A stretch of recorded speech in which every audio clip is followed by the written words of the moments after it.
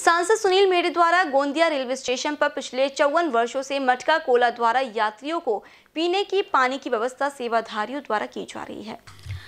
अपने गोंदिया प्रवास के दौरान गोंदिया के लोकप्रिय सांसद सुनील मेढ़े ने आज गोंदिया रेलवे स्टेशन में भेंट दी। इस देवीय कार्य को सराहा और इसकी प्रशंसा भी की। इस अवसर पर स्टेशन परिसर में मटका कोला समिति अध्यक्ष लक्ष्मण लधानी, सुरेश मूलचंदानी, प्रशांत बोरकुटे, जसपाल सिंह चावला, विनोद चांदवानी, प्रवीण पटले, स्टेशन प्रबंधक एच एल कुशवाहा, वाणिज्य निरीक्षक सुजीत कुमार और अन्य उपस्थित थे। गोंदिया से बीसीएन न्यूज़ के लिए अभिषेक भटनागर की रिपोर्ट।